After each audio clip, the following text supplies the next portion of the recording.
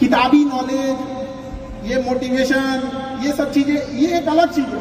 धरातल पे उतर के जाइएगा ना तो अलग चीज़ है पर और कभी बिहार में आके देखिएगा तो एकदम में अलग मिलेगा। खैर, हमारे यहाँ तो हर चीज़ है भाई। पहाड़ काटने वाले लोग भी तो ऐसा नहीं है कि आपके पास अभाव नहीं है। मतलब सबके पास कमो में नहीं है। लेकिन कितना बहाना बनाएँगे हम लोग, कितना रोएँगे कि भैया हमारे पास इस चीज़ की कमी है। दुनिया का कोई इंसान पूर्ण नहीं है। सबके पास कुछ कमी है। शायद जिसे हम कहते हैं कि ये बड़े लेवल का आदमी है, उसके पास बड़ा प्रॉब्लम है। छोटा के पास तो छोटे प्रॉब्लम है। बड़े के पास बड़ा प्रॉब्लम है। दुनिया का कोई आदमी जो नहीं है, जिसके पास प्रॉब्लम नहीं है। और प्रॉब्लम का आना बहुत ज़रूरी है। क्योंकि आवश्यकता ही आविष्कार की जननी होती है। अगर आपके पास कमी नहीं रहेगा ना आप कुछ करिएगा ही नहीं। कोई भी चीज़ का, ये पानी है यहाँ पर। इसकी वैल्यू तभी बढ़ेगी जब हमको ज़ोर से प्यास लगेगा। अभी नहीं लगा है। इसका थोड़ा सा हमको लगता है कि कम कोई वैल्यू उतना नहीं। अभी लगेगा ना थोड़ी देर बाद प्यास तो लगेगा ना, बहुत ज़रूरी चीज़ है तो आपके अंदर वो भूख, वो प्यास रहना चाहिए। अमूमन आप देखिएगा, कोई आदमी जो होते हैं लोग उनके अंदर, जैसे किसी को क्या बोलते हैं पोजीशन लीडरशिप बोलते हैं। कि मतलब उसकी विरासत में मिल गई है। दादा ने कोई बिज़नेस खड़ा किया, पिता ने किया। जब उसको मिलता है तो उतने अच्छे से नहीं संभालता। कुछ लोग संभाल भी लेते हैं, लेकिन कुछ लोग उतने अच्छे से भी नहीं संभाल पाते। कितना ठोकर लगा है। ये बहुत ठोकर नहीं लगेगा। जिस पत्थर पे चोट नहीं पड़ती, वो कभी मुहूर्त नहीं बनता है।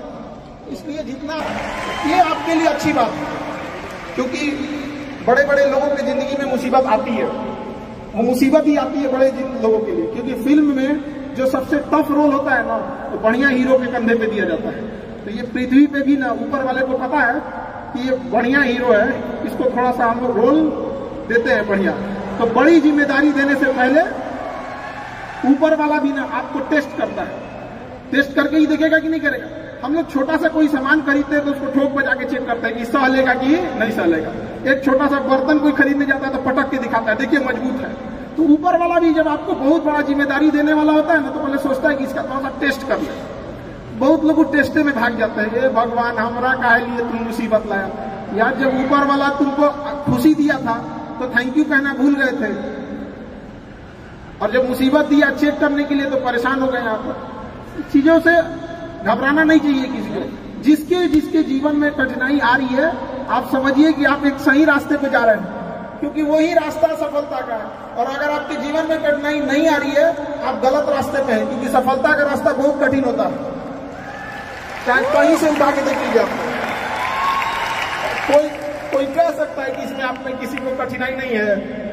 कोई भी कह सकता है, कभी नहीं कह सकता है आप। इतने लोग में से कोई?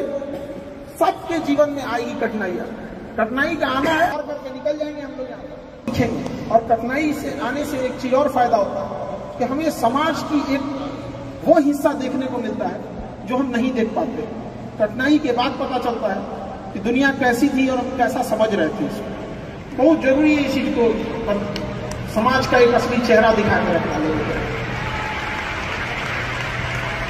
आजकल यंग जनरेशन जो है ना अचानक सोचती है सफल हो जाए। अचानक कभी नहीं सफल हो सकते। रातों रात जो सफल होते हैं ना, रातों रात गायब हो जाते हैं। आप कई एग्ज़ाम्पल होंगे आप लोग के पास जो देखे होंगे, रातों रात सक्सेस होता है ऐसा? फिर उसके बाद देखिएगा, रातों रात गायब भी हो जाते हैं। क्योंकि धीमी आँच पे ही खाना तेज अच्छा बनता है। और अचानक बना देंगे खुद तेज जल जाएगा खाना। इसलिए थोड़ा थोड़ा स्टेप बाय स्टेप कोशिश कीजिएगा कि आगे बढ़े। चाहे आप जिस फ़ील्ड में वट एवर फ़ील्ड आपका बेटर जानते हैं आप लोग एक्सपीरियंस आप लोग के पास होगा। चीज़ों के लिए। लेकिन ज़्यादा दिमाग लगाने के प्लानिंग व्लानिंग के चक्कर में मत रहिएगा।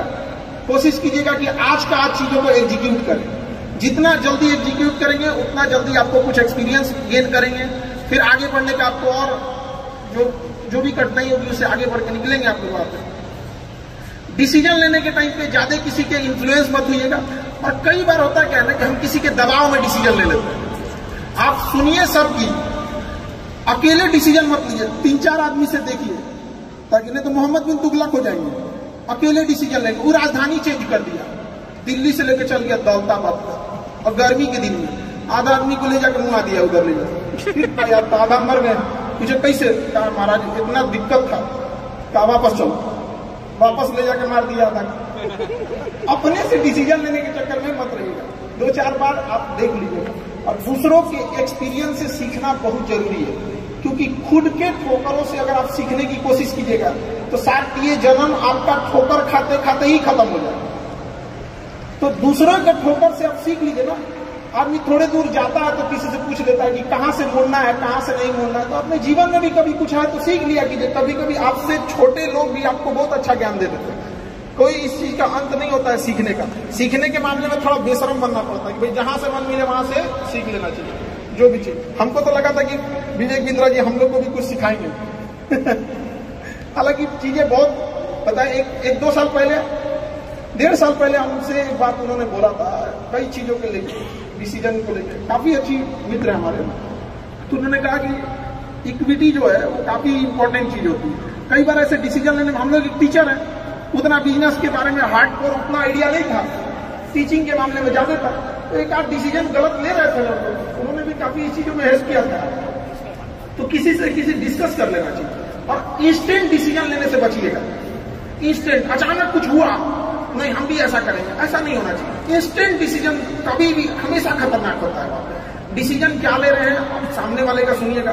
कई बार ऐसा होता है, लोग डिस्कशन के नाम पे अपनी बतिया थोप देते हैं। चार आदमी के बीच में बैठेंगे और कहेंगे, हम ऐसा सोच रहे हैं। ऐसा कभी मत कीजिएगा। पहले उनकी सुन लीजिएगा कि वो लोग क्या बोल रहे हैं। क्योंकि जब आप किसी बड़े लेवल पे होते हैं ना, आप कहेंगे कि हम ऐसा सोच रहे हैं तो आपके नीचे वाले लोग भी ना, आप ही की बात में हम यहाँ मिला देते हैं। तो बेटर है पहले उनके सुन, अपना बोलने से पहले उनकी बातें सुन लीजिए कि वो क्या कहना चाह रहे हैं। तभी जाके किसी डिसीज़न पे पहुँचे इंस्टेंट डिसीज़न चीज़ों से बचेगा और अभी डिजिटल इंडिया आया सब